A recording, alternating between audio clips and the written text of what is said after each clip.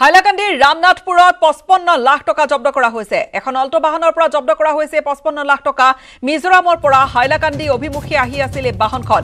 গাড়ীখনৰ চালকক আটক কৰি আৰক্ষীয়ে জেৰা কৰি আছে। জেৰা অব্যাহত আছে আৰক্ষীৰ ক'ৰ পৰা ইমান বৃহৎ পৰিমাণৰ টকা আহিল। হাইলাকান্দিৰ ঘটনা ৰামনাথপুৰত পঁচপন্ন লাখ টকা জব্দ কৰা হৈছে। পঁচপন্ন লাখ টকা একেলগে জব্দ কৰা হৈছে এখন অল্ট বাহনৰ পৰা।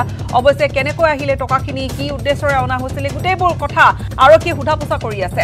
এখন অল্ট বাহনৰ পৰা জব্দ কৰা হৈছে এই পঁচপন্ন লাখ টকা।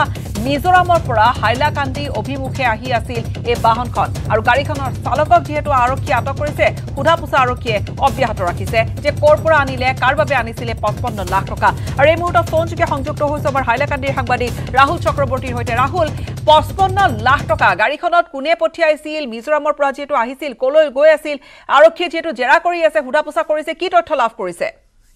আজি পুৱতি নিশা হাইলাকান্দি জিলাৰ ৰামনাথপুৰ থানাৰ এটা নাকা চেকিঙত এই টকাখিনি জব্দ হৈছে। মিজোৰামৰ পৰা অহা এটা মাৰুতি অল্ট গাড়ী A F ten E two seven seven four নম্বৰৰ গাড়ীখন মিজোৰামৰ আইজলৰ পৰা ভৈৰৱী হৈ হাইলাকান্দি হৈ গুৱাহাটী যাবলৈ আছিলে।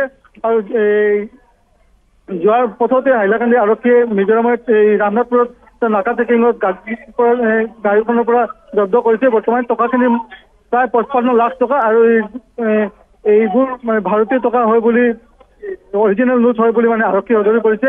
আৰু এটা ট্ৰাংকৰ ভিতৰতে ভৰি টকাখিনি লৈ গৈ আছিল মিজোৰামৰ ফালে বৰ্তমানে ৰামনাথপুৰ আৰক্ষীয়ে দুজন এই- এই গাড়ীৰ চালক আৰু তাৰ লগতে থকা এজন ব্যক্তিক আটক কৰি সোধা পোছা অব্যাহত ৰাখিছে। কিন্তু ক'ৰ পৰা কিয় আনিছিল তেওঁলোকে এইটো কথা এতিয়ালৈকে আৰক্ষীয়ে সদৰি কৰা নাই গীতশ্ৰী হয় ক'ৰ পৰা আনিছিল কিন্তু পঁচপন্ন লাখ টকা এয়া কম পৰিমাণৰ এটা বৃহৎ পৰিমাণৰ ধনৰাশি। ট্ৰাংকৰ ভিতৰত লৈ আনিছিল বুলি আপুনি কৈছে দুজন আছিল গাড়ীখনত। তেওঁলোকে যিহেতু মিজোৰামৰ পৰা আহিছিল আৰু গুৱাহাটী অভিমুখে আছিল অৰ্থাৎ গুৱাহাটীত কাৰোবাকে টকাখিনি দিয়াৰ কিবা তেনেকুৱা ধৰণৰ প্লেন আছিল নেকি?